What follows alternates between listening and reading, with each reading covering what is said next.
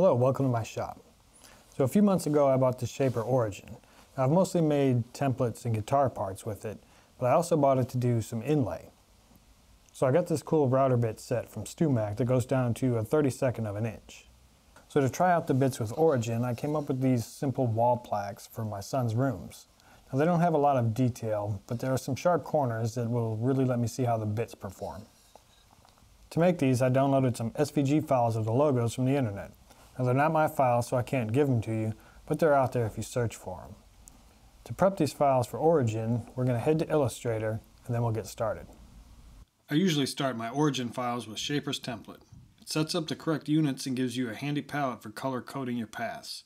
The Origin will use the colors as hints for default operations. I'll start by pulling in the Overwatch logo and place that on the canvas. Then I'll create an 8 by 8 inch circle that will be the perimeter of the plaque. Then I'll scale the logo to fit the plaque, leaving something around a quarter inch spacing from the outer edge. This looks pretty good. Now I need to deal with the sharp corners. I need to set the corner radius to match the router bit, which is 1 32nd of an inch, giving us a radius of 1 64th of an inch, or 0.015625. Then I'll just go through and set this radius on every corner.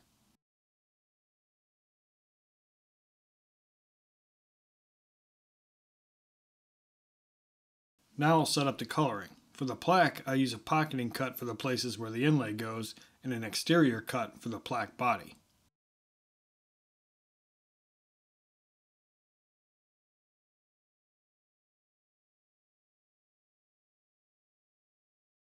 Then I'll copy the paths for the inlay and flip them horizontally because I'm not cutting all the way through my quarter inch material. The 1 32nd inch bit can only cut about 1 8 inch deep. This will make more sense when I actually do it. The inlay pieces are set up as exterior cuts. Now I'll export the designs as SVG for the origin. I'll get rid of the helper palette and inlay pieces for now and export the plaque body.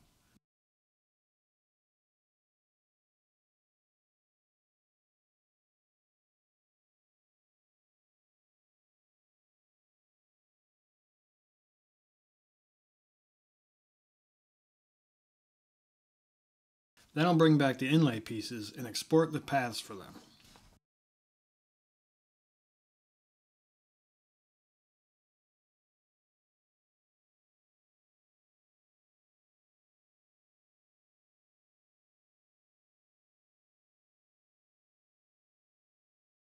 I'll do the same again for the Skyrim logo. There are a lot more corners to change in this design.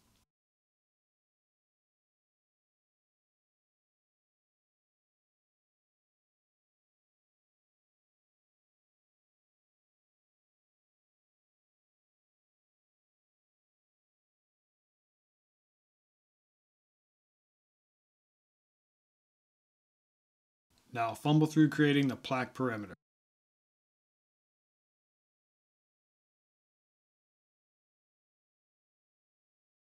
I'll be using up some scraps for this project.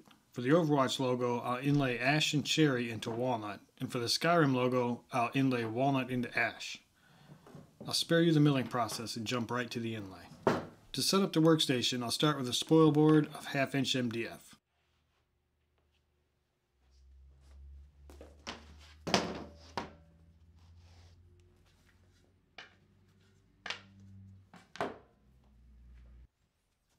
I'll be cutting the quarter inch inlay pieces first, so I'll lay out a tape board on quarter inch MDF. I space the tape a couple inches apart about halfway up the board. I'll start with the cherry piece of the Overwatch logo, using double-sided tape to secure it to the spoil board.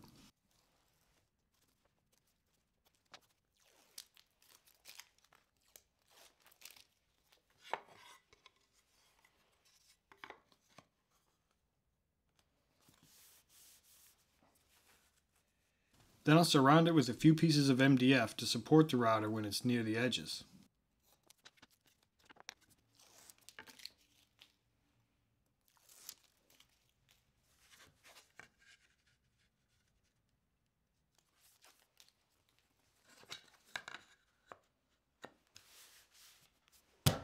The first step is to scan in the work surface. Make sure you get most of the tape and the piece itself.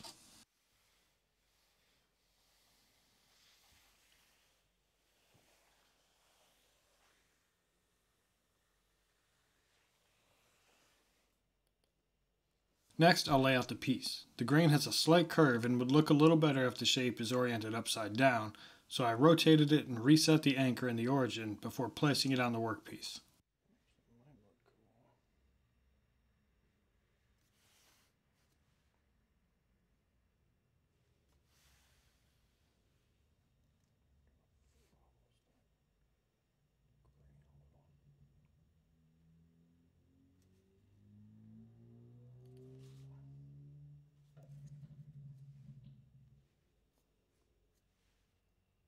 Starting with a quarter inch bit here, cutting at a depth of 0.2 inches and an offset of 5 thousandths. Cutting at an offset outside the line lets me come back for a final cut removing only 5 thousandths, leaving a nicer surface.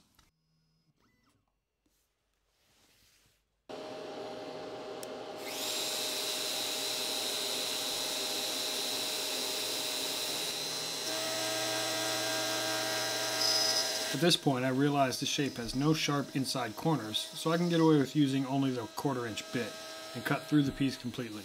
This pass cuts through the piece using 0.26 inches for the depth, still using the 5 thousandths offset.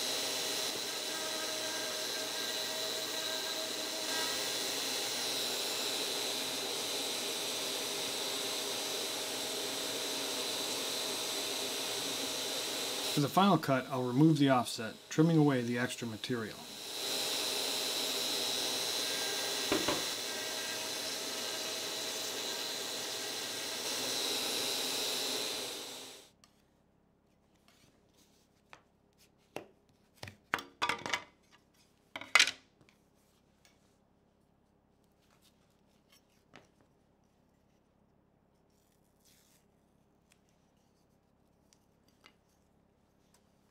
Now I'll put the piece of ash down and cut the other part of the logo, starting with scanning in the workplace and placing the shape.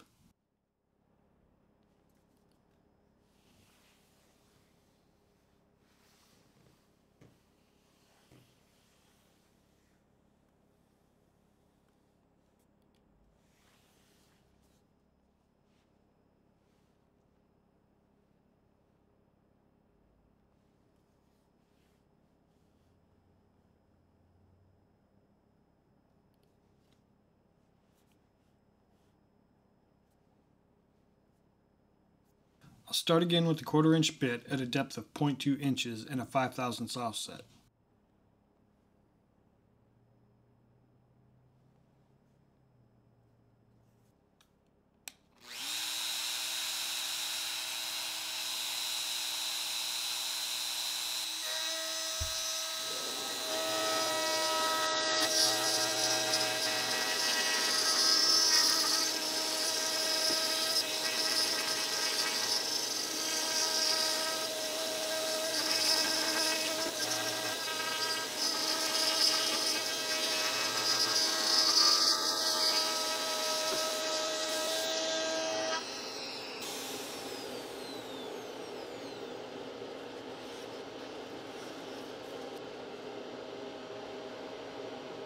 Next, I'll put in the 1 8 inch bit set to a depth of 0.11 inches and no offset.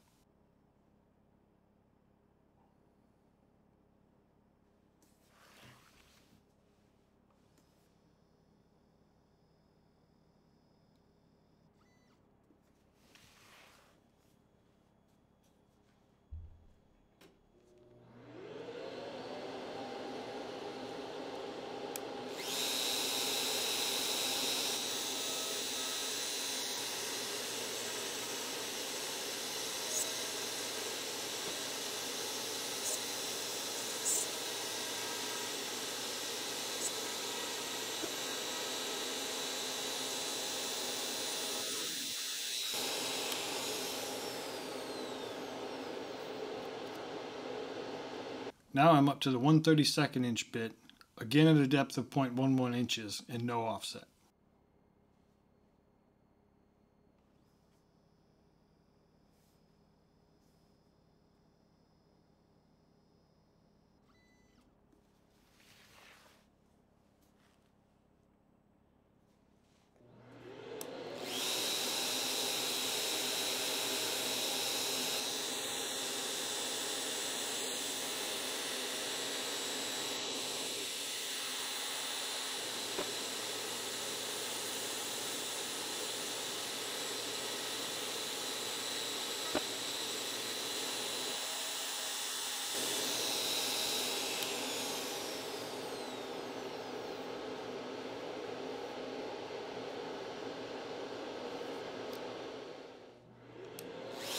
Finally, I'll come back with the 1 8 inch bit to cut through the piece using a depth of 0.26 inches with a 50 thousandths offset just to make sure I don't mess up the edge.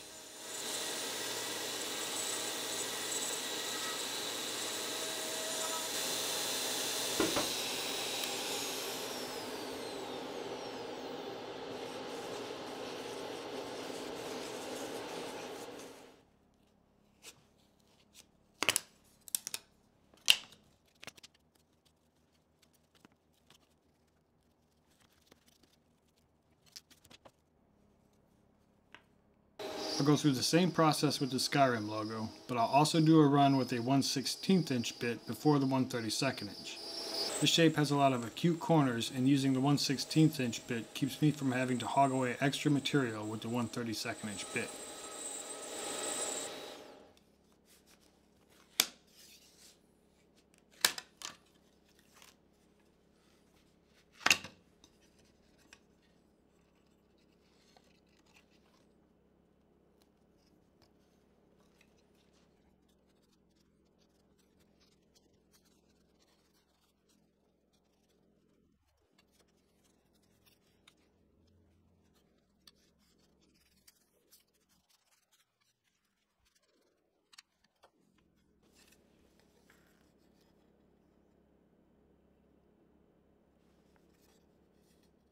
Here I've set up a half inch tape board to cut the plaques. I'm starting with the Overwatch plaque, securing it with double sided tape. I'll scan the piece in as always and start with a quarter inch bit doing a pocketing cut at 0.1 inch depth. That's a little less than the 0.11 inch used in the inlay pieces just to make sure they can fully seat. For these cuts you just move the router around coloring in the shape on the screen.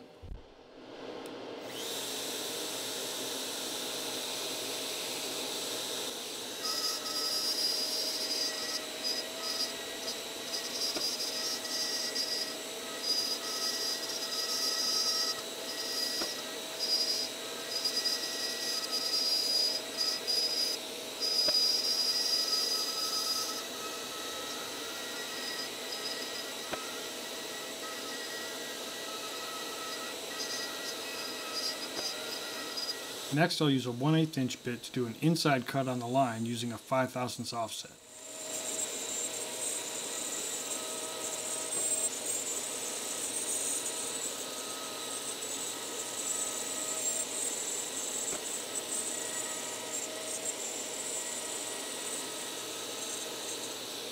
Finally, I'll use the 1 32nd inch bit with no offset to give the line its final pass.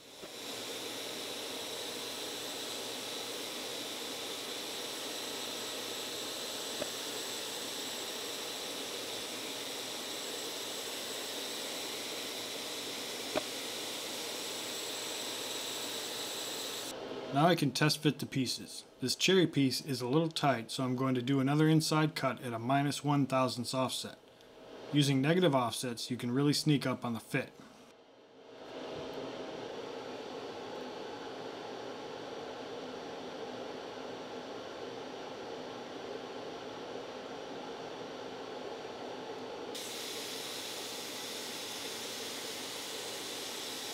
This was still a little tight, so I ended up taking two more thousandths off before getting a good fit.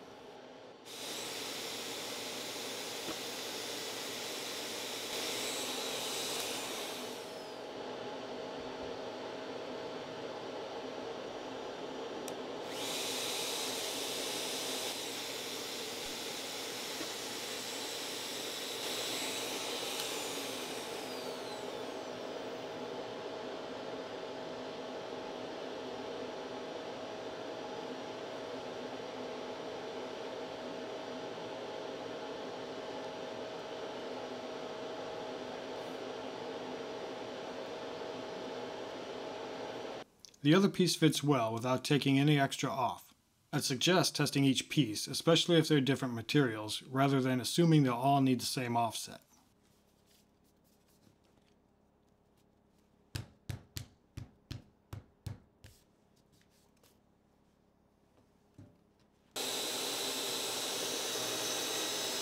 Now we'll cut the perimeter of the plaque using the 1 quarter inch bit.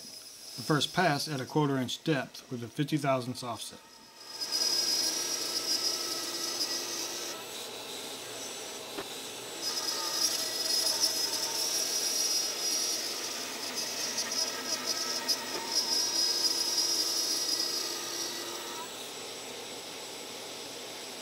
I'll do a second pass at 0.51 inches depth, keeping the offset, then a final cleanup pass with no offset.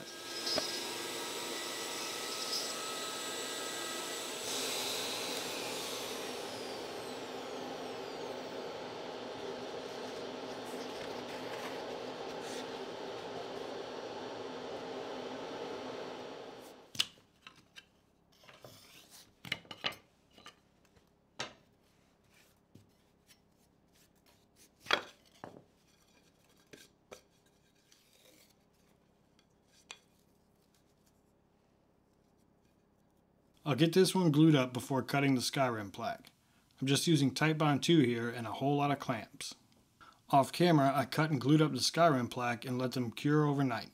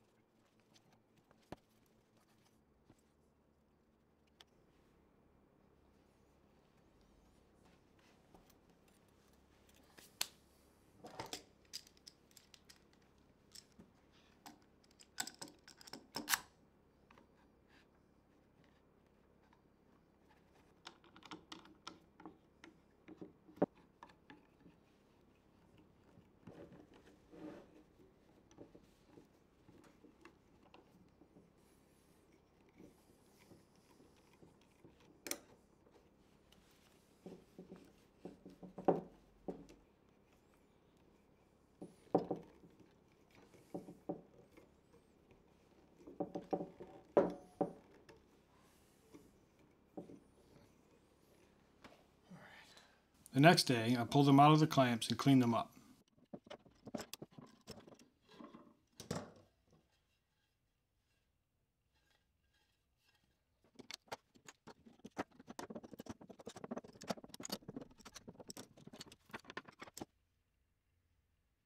Bunch of ways to remove the excess wood. You could use hand planes, a belt or orbital sander, or a drum sander.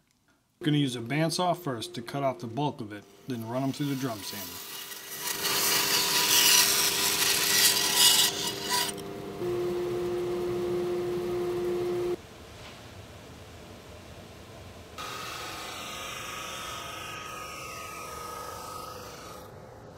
After that, I'll go to the router table to round over the front edge with a roundover bit.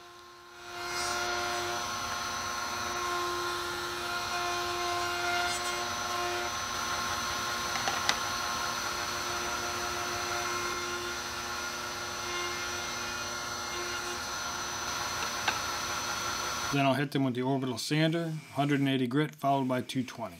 I'll also clean up the edges and break the corner on the backs by hand.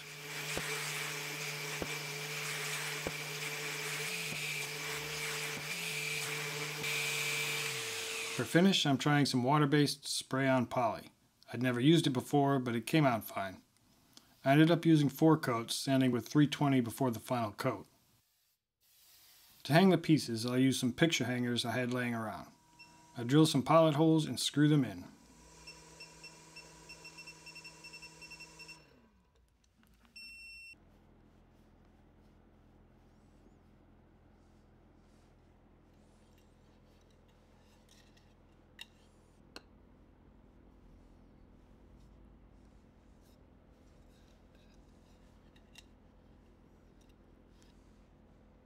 Now I'll give them a test hang on my barren shop walls.